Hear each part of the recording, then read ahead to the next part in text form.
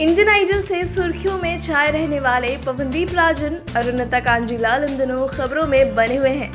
पवनदीप राजन और अरुणिता कांजीलाल से जुड़ी हर छोटी से छोटी खबर जानने के लिए इनके चाहने वाले बेकरार रहते हैं। शो खत्म होने के बाद भी पवनदीप राजन और अरुणिता कांजीलाल का क्रेज उनके फैंस में बना हुआ है। इंडियन आइडल के मंच पर अपनी दमदार रूहानी आवाज़ के साथ साथ अपनी सिजलिंग केमिस्ट्री को लेकर मशहूर हुए पवनदीप और अरुणिता आए दिन किसी न किसी वजह से चर्चा में बने रहते हैं। हाल ही में खबर आई थी कि पवनदीप और अरुणिता का ब्रेकअप हो गया था। दोनों एक दूसरे से बात तक करना बंद कर चुके थे। इतना ही नहीं, अरुणता कांजीलाल ने पवनदीप राजन संग काम करने से मना कर दिया था। उन्होंने पवनदीप राजन संग म्यूज़िक वीडियो करने से भी मना कर दिया था। इसकी वजह अरुणिता कांजीलाल के पिता को बताया गया था। कहा गया था कि अरुणता के पिता नहीं चाहते कि पवनदीप उनकी बेटी के करीब आए।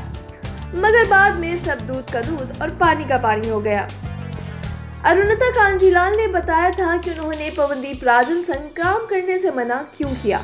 अरुणता कांजीलाल ने मीडिया से बात करते हुए कहा था, मेरे पवनदीप के बीच सब कुछ नॉर्मल है। मैं और पवनदीप आज भी अच्छे दोस्त हैं। रही बात म्यूज़िक वीडियो में काम करने से मना करने की तो मैं एक्टिंग करने में सहज महसूस नहीं कर पा रही थी। इसलिए मैंने म्यूज़िक वीडियो करने से मना कर दिया। मुझे सिंगिंग पर फोकस करना है। मेरा सपना है प्लेबैक सिंगर बनने का। मुझे उसे पूरा करना है। आने वाले वक्त में मुझे मौका मिलेगा तो पवनदीप के साथ म्यूज़िक वीडियो भी ज़रूर करूँगी। फ़िलहाल मैं सिर्फ़ सिंगिंग पर ध्यान दे रही हूँ। ये सब होने के बाद पवनदीप और अरुणता एक बार फिर म्यूज़िक वीडियो में साथ में नज़र आए। दोनों का सॉन्ग लव स्टोरी पर बेस्ड था। दोनों के म्यूज़िक वीडियो को खूब पसंद भी किया गया।